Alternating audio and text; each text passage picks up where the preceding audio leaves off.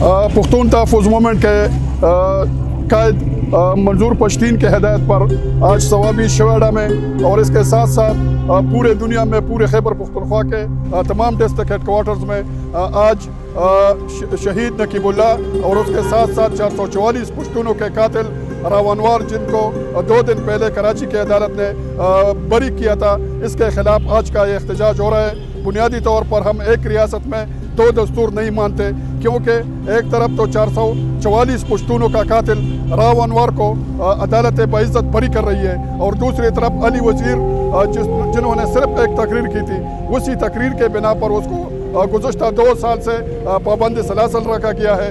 इस तरह हनी पश्तीन जिसको बनू के जेल में गुजशत ढाई साल से पाबंद सलासल रखा गया है। तो आज का ये हमारा एहतजाज बुनियादी तौर पर रियासत से यही मुतालबा कर रहे हैं कि हम मज़ीद इस रियासत में पुश्तूनों के कत्याम को बर्दाश्त नहीं करेंगे। हम पाकिस्तान की रियासत में पुश्तूनों के हकूक़ को की पामाली को मजीद बर्दाश्त नहीं करेंगे और इस रियासत को एक बात बताना चाहते हैं कि इस वक्त तो पश्तून अपनी हक की बात कर रहे हैं। हम, हमको मजबूर न किया जाए कि हम भी बंगाल की तरह आप लोगों के ख़िलाफ़ आज़ादी का परचम लेकर उठे। प्लीज़ हमें अपने हकूक़ दें।